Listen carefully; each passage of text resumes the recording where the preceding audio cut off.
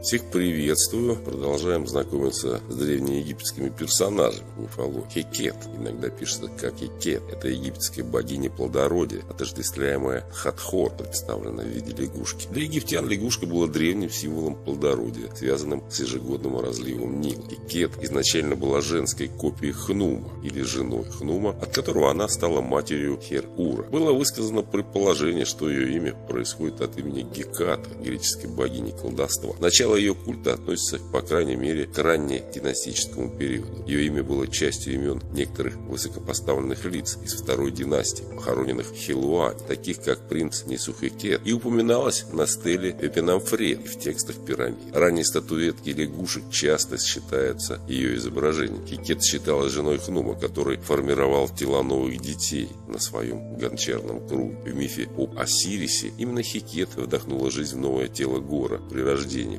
поскольку она была богиней последних мгновений рождения. По мере того, как рождение Гора становилось все более тесно связанным с воскресением Осириса, роль Хикет становилась все более тесно связанной с воскресением. В конце концов, эта ассоциация привела к тому, что ее амулеты приобрели фразу «Я есть воскресение» в христианскую эпоху, наряду с символикой креста и акс. Храм, посвященный Гору и Хикет, относящийся к периоду Птоломеев, был найден в Усе, как богиня плодородия, явно связанная с последними стадиями разлива Нила, а значит и с прорастанием кукурузы, она стала ассоциироваться с заключительными стадиями рода. Эта ассоциация, которая, по-видимому, возникла во времена Поднебесной, принесла ей титул той, кто ускоряет рождение. Амулеты в виде лягушек, представляющие хикет, вероятно, носили женщины во время родов, чтобы обеспечить легкие роды. Но такое описание из Википедии о египетской богине плодородия Хекет. Пока-пока, до свидания.